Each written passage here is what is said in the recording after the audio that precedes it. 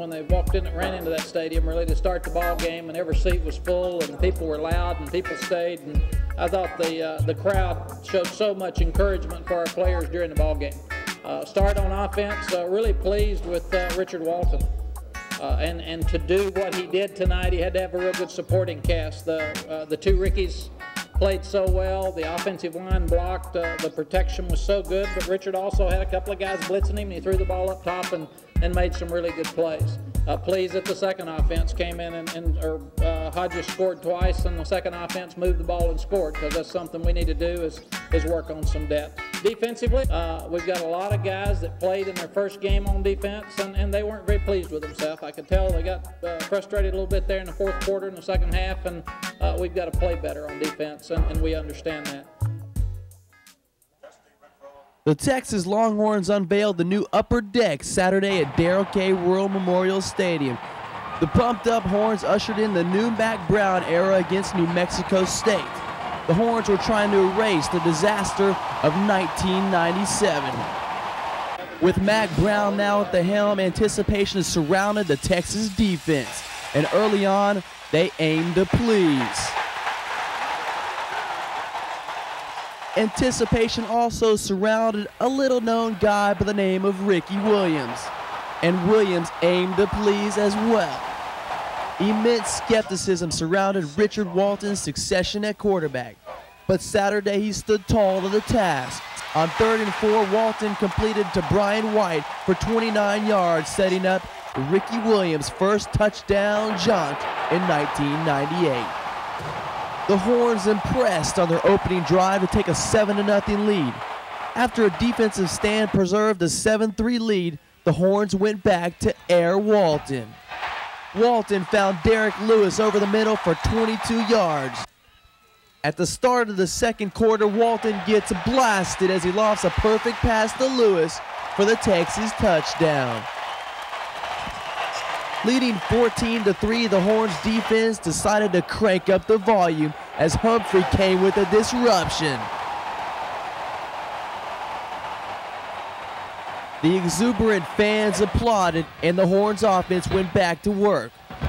Walton sought out the 97 freshman receps record holder Kwame Cavil for 22 yards.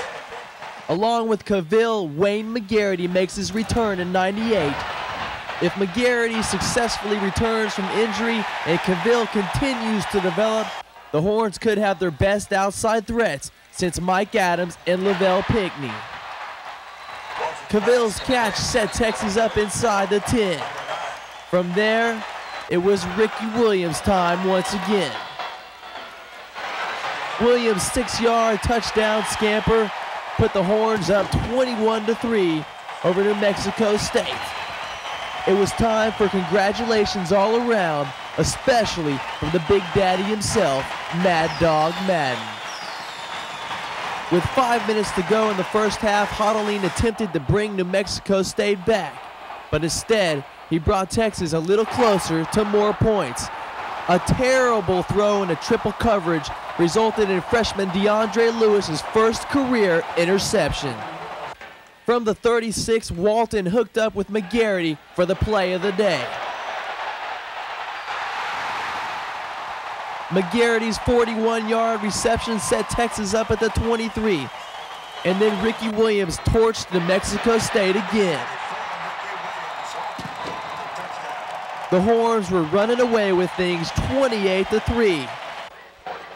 And just for good measure, Phil Dawson's replacement, Kris Stockton, boomed a 52-yard field goal to close out the half, 31 to 3. While the offense rolled, the defense also suffocated. But that would change in the second half. As the second began, the Horns were cooling off just as New Mexico State began heating up. Hodoline's touchdown pass brought New Mexico State within 31 to 10.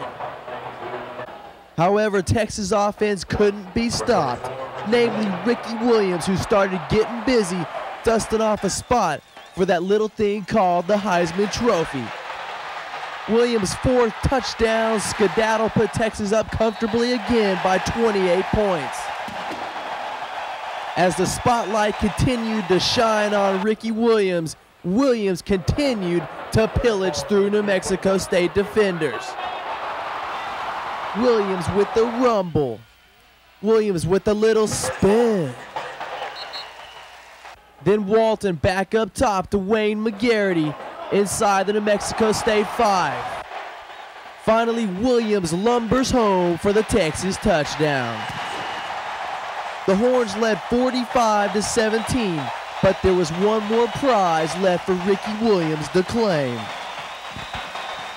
On the ensuing kickoff, the Horns special teams got to crash the party. Terrell Dillon's fumble recovery set Texas up inside the New Mexico State 15 and provided Ricky Williams with an opportunity to set a school record for touchdowns in a single game. Williams did exactly that, barreling in for record touchdown number six.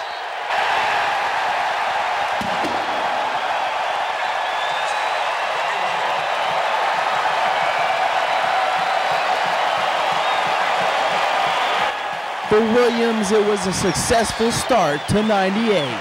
I think the people never going to run the ball now. We're going to run the ball down their throats.